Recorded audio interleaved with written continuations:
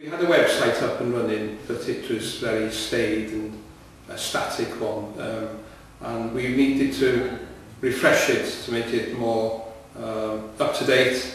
We were lucky enough to, um, through Craig, the, the Wales Co-op, um, to have a, somebody who had the knowledge to take our old website off, which was a, a hard job in, in, in its own and then Craig created a new website for us.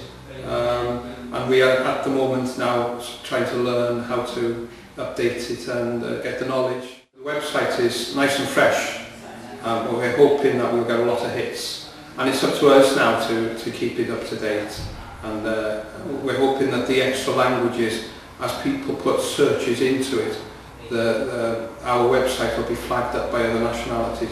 Because we are a port and we have a lot of passengers going through the port with spare time, we're hoping that our website will be flagged up and people will be drawn into the museum. At the moment we're hoping to put on um, all our maritime books and books on the history of Holyhead and North Wales, uh, shipwrecks around the North Wales, Wales coast, uh, postcards, we sell collectors postcards and they would go on the website as well.